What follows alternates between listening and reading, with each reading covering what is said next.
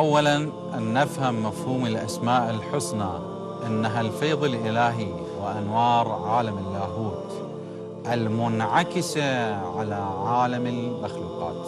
ثانيا أن تعلم إن مراتب الموجودات هي على حسب مراتب الأسماء الحسنى. ثالثا إذا أردت أن تفهم معاني ومداليل الأسماء الحسنى وانعكاساتها على الحياة بكل شؤونها ومتطلباتها وتظهر لك الحقائق بما إن الأسماء الحسنى تنفعل بها الأشياء. ونحن سوف نظهر لك تلك الحقائق وما خفي كان أعظم. كل ذلك سوف تشاهدونه في برنامج الاسرار على تلفزيون الشاهد.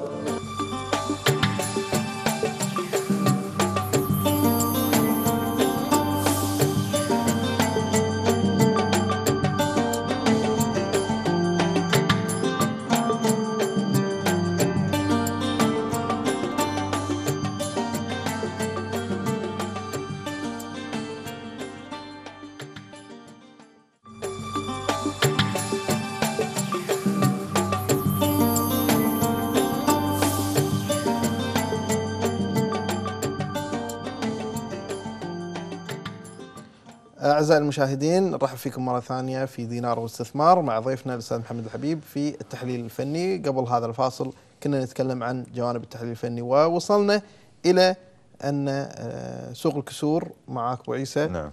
آه، عائق أمام آه، تحليل أدق للتحليل الفني نعم. ورسم صورة أدق للأحداث المستقبلية. دائما التحليل ال- ال- ال- شنو الهدف منه؟ الهدف منه أن نبي نعرف المستقبل نشتري نبي نربح نعم. التحليل سواء المالي أو الفني أو أي نوع من أنواع التحليلات. لكن يبقى النظام الحالي النظام الحاسب الآلي نظام معيق لأي توسع ترغب في إدارة السوق حقيقة. وننتظر النظام الجديد آه، اللي حيكون آه، بادرة أمل بأن يكون هناك انفتاح أكثر يشيلون شيء اسمه سوق ال- الكسور ها؟ والمؤشرات تتعدل نعم. لربما يكون هناك مؤشر جديد آه، بعد دراسة الإخوان. حتى آه، الإخوان إذا الله وفقهم واختاروا هيئة آه، مفوضين سوق المال أسواق المال وبالتالي يكون هناك تحديث نعم. لهذه البيانات اللي نعتمد عليها. لكن هل تتوقع أن يكون هناك فجوة في الانتقال ما بين نظام إلى آخر وكيف تعالج آه، مثل هذه الفجوة إن وجدت؟ يعني في هالحالة أخوي أبو إبراهيم يعني دائما يعني إذا نبي ننتقل الآن كأننا انتقلنا من سوق إلى سوق. يعني آه، فتح الكسور أو اندماج الكسور في السوق الرسمي كسوق مفتوح. إحنا كأننا انتقلنا من سوق إلى سوق آخر. نعم. آه، فلذلك يعني المرحلة الانتقالية تح- تحتاج أيضا دراسات أكثر من ما هو عليه الآن. تعديل المؤشرات يحتاج له دراسات لتفكيك الأسرار أو تفكيك الأمور اللي كان عليها بالسابق. يحتاج نركب الأمور على على الأشياء الآن الجديدة أو التي تم انتقال عليها الآن. فلذلك يعني ليست هي عملية فقط يعني آه، خلاص ننتقل نحول سوق الكسور إلى رسمي وانتهينا العملية وخلاص. لا نعم. هناك آه، كثير من الأرقام راح تكون عليه فجوات كثير من الأرقام راح تكون يعني مثل ما نقول لخبطة. لأن المؤشر السعري يحتاج إلى تعديل آخر لأنه هو خلاص تعود على على ال- ال- اللي هي الوحدات. صعب الآن إنك تعطيه سهم أو سهمين يصير في عملية بيع وشراء خاصة الوزني بالذات يعني. نعم. فلذلك يحتاج تعديل الأرقام القطاعات جميعها مؤشرات القطاعات يحتاج تعديل المؤشر الوزني أيضا كذلك يحتاج دراسة وتعديل المؤشر السعري أيضا.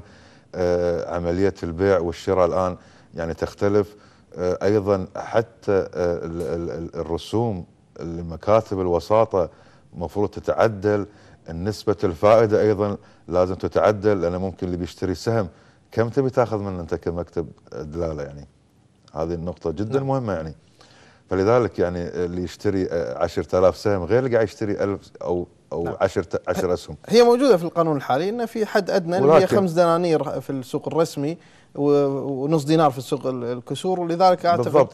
هذا هذه العملية شيء على ما يقولون in between بين الوسطين بالضبط يعني هي ما تكون between لازم تكون لها معادلة حسابية أيضا. نعم. آه، نسبة ال- الفائدة نسبة العمولة أيضا. آه، لأن اللي يشتري سهم واحد غير اللي قاعد يشتري 100 غير قاعد يشتري 1000 وال 10000 وانت رايح. نعم. يعني في نسبة معينة لازم يكون عليها دراسات طبعا قبل تنفيذ العمل. آه، لذلك أي تنفيذ العمل إذا نسينا أي ثغرة ممكن يسبب لنا مشاكل في المستقبل. فلذلك ودنا يعني لو تطول الدراسة ما عندنا مشكلة ننطر إحنا. ستة اشهر سنة أوكي ما في مشكلة ولكن ندخل صح نشتغل صحيح. أما نبي الآن نحول الكسور ويلا وعدلنا بعض الأشياء وتركنا يعني فراغ أو تركنا ثغرات كثيرة ممكن هذه الفراغ أو الثغرات تسبب لنا مشاكل كبيرة في المستقبل. فلذلك إحنا نريد التمعن في هذه الدراسات نريد أيضا يعني آه، استعانة ببعض المختصين الدوليين كما أطلق عليهم اللي اللي أسس آه، مؤشر الداو جونز اللي أسس المؤشرات العالمية نيكي الياباني.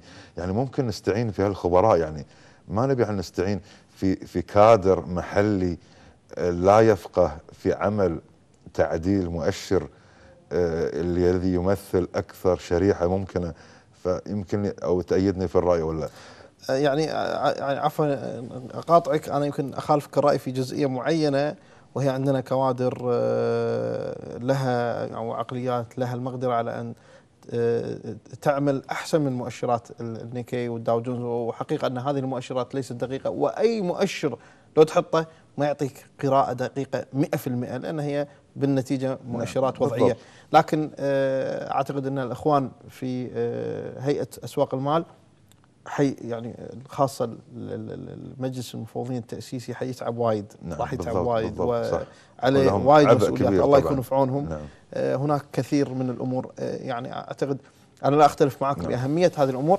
لكن بالاستطاعة أنا أعرف قدرات الكثيرين لدينا بالاستطاعة أن نتخطى هذه الأمور باتخاذ قرار. نحن بحاجة إلى قرار شجاع وجريء حتى نعم. نقابل هذا التغيير. بالضبط التغيير آه، حتى لو تعطيه دراسة نعم. بعد خمس سنين إذا لم يكن هناك قرار آه، لا فائدة من هذه الدراسة. تعلمنا على الدراسات. الحين صار لنا إحنا سنين نسمع دراسات. إحنا بالعكس يعني ودنا يعني الكادر المحلي يعني يكون له يعني آه، آه، لها دراسات كثيرة أو لها يعني قدرة على بناء هذا المشروع نعتبر بناء مشروع الآن هو صحيح. يعتبر الآن.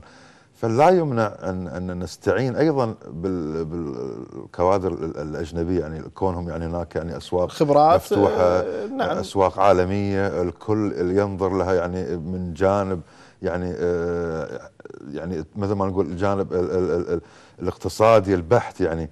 فلذلك لا يمنع يعني نعم. حتى ننتهي من هذه العملية ككل. نعم بس المعايير المطبقة في الأسواق العالمية لربما تختلف. لدينا خصوصية كويتية وأنت تعرف تماما بالضبط. هناك كسوق بعض تقليدي إيه، بالضبط. بعض الأمور اللي, اللي راح توقف أمام آه، تطبيق عدد من القرارات آه، لربما آه، ليس هذا مجال حديثنا اليوم نعم. لكن إن شاء الله الإخوان يلقون لها الحلول. نعم. قبل أن أنتقل إلى آه، آه، يعني هناك سلايدات آه، جاهز جاهزة و نعم.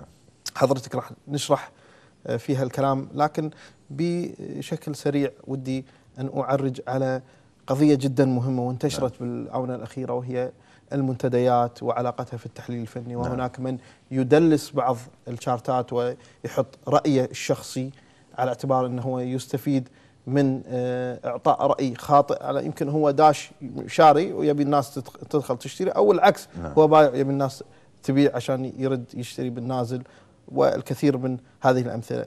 أه، انتشار التحليل الفني في المنتديات كيف تراه وكيف تميز بين الصالح والطالح في هذا الشأن خاصة انه أه، يمكن الفروقات جدا بسيطة نعم.